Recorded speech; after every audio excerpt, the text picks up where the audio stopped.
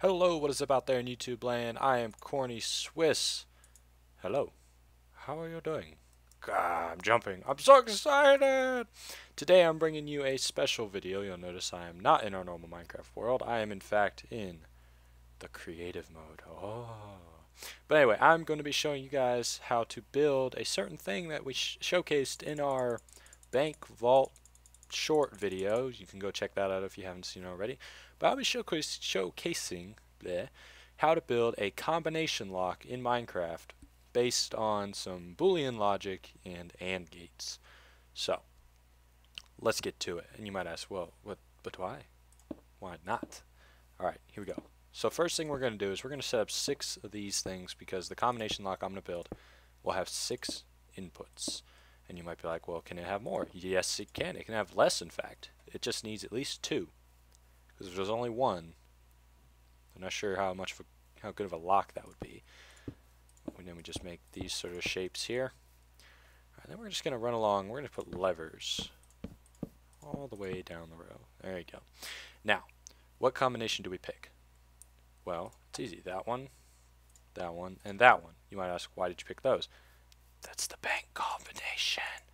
Don't tell anybody. Oops.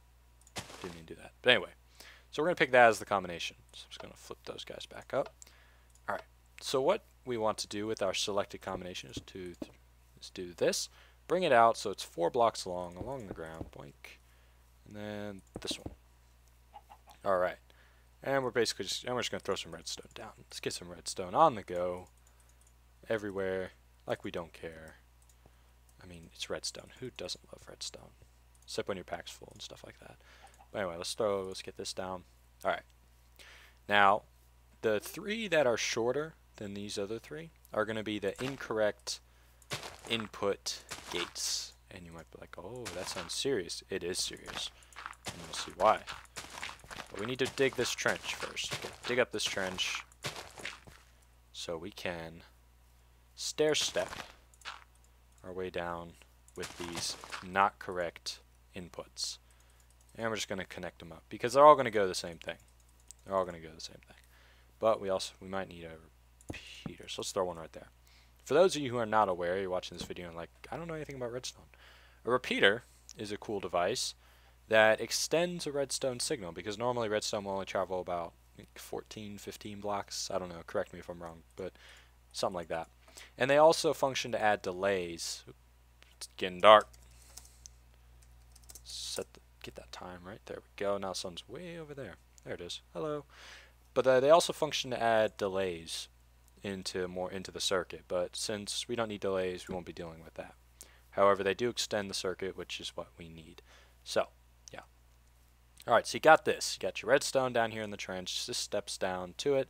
You got these things here. Next step is to put torches, redstone torches, right there. And you're like, why? Because we need them there. That's why.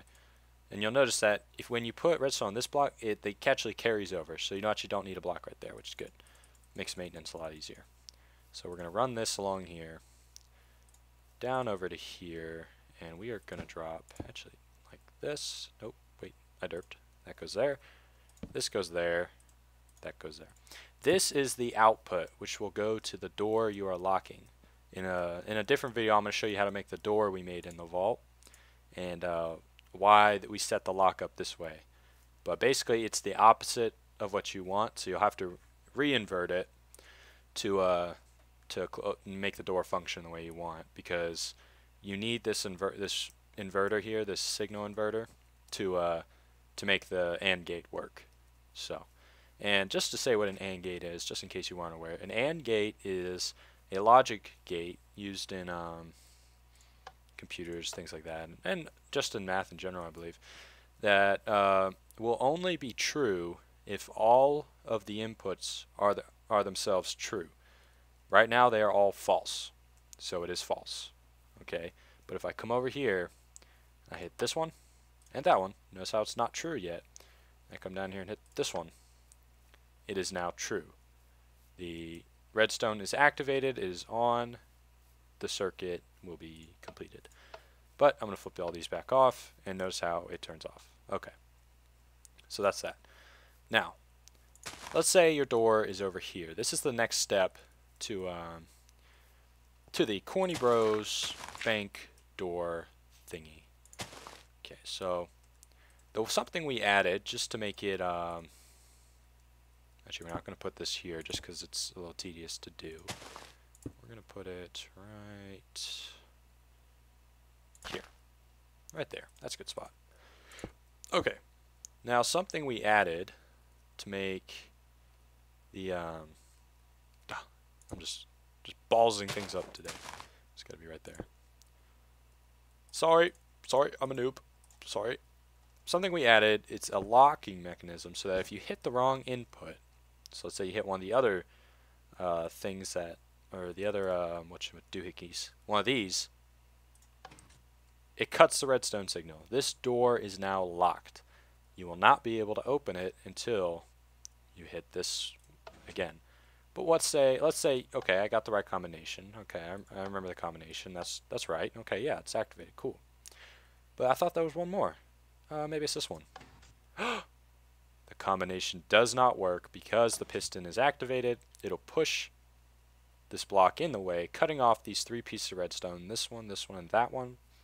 When it's pushed, it will break this connecting part here and here without breaking the redstone and sever the, the connection. So it won't work.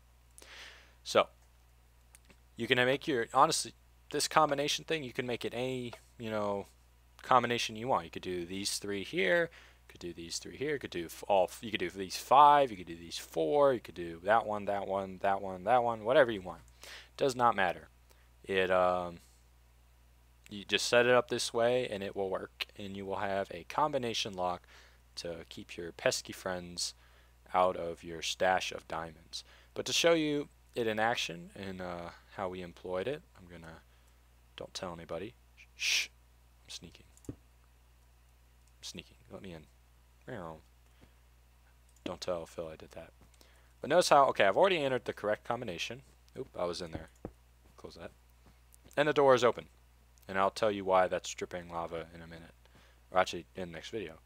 Oops, I missed one. Oh. I can't get through. Ugh. Uh, ah. Okay, that doesn't work. So that is the combination lock we used in this vault door. If you'd like to see more redstone tutorials, please uh, let me know. I would love to do some more. I, have, I don't have. I'm not that great at redstone, but I do understand it, and I can uh, create any. Uh, not anything, but I can create a lot of things you might want me to, do. But anyway, it's just a little overhead view, so you can see it and uh, replicate it in uh, your own world. So if this video helped you at all, please leave a like, comment, favorite, subscribe, lick a screen, whatever you want, whatever you want to do to show some love. I would much greatly appreciate it. I've been Corny Swiss. Thank you for watching.